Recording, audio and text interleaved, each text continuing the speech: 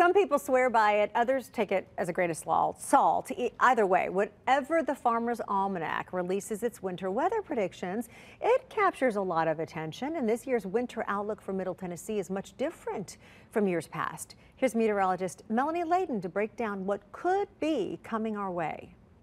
The Farmer's Almanac has been predicting weather across the country for decades. Sometimes it uses sources like old wives' tales.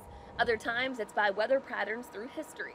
Whether you believe it or not, it's fun to follow along, but just remember, you can only get an accurate forecast seven days out. This year, they say that Tennessee and Kentucky should brace for unreasonably cold weather and snow that will be shivery, wet, and slushy. But just how accurate is the Farmer's Almanac?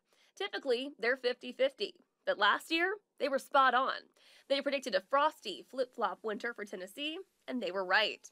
We had an unusually wet winter last year with above average rainfall, along with temperatures in the teens by January and several days of significant snow. They also predicted many of the big storms we had across the country last year, like the nor'easter at the end of October and the unusual blizzard in April. But remember, this is just a prediction. The First Alert Weather Team will always have you covered in every season. I'm meteorologist Melanie Layden.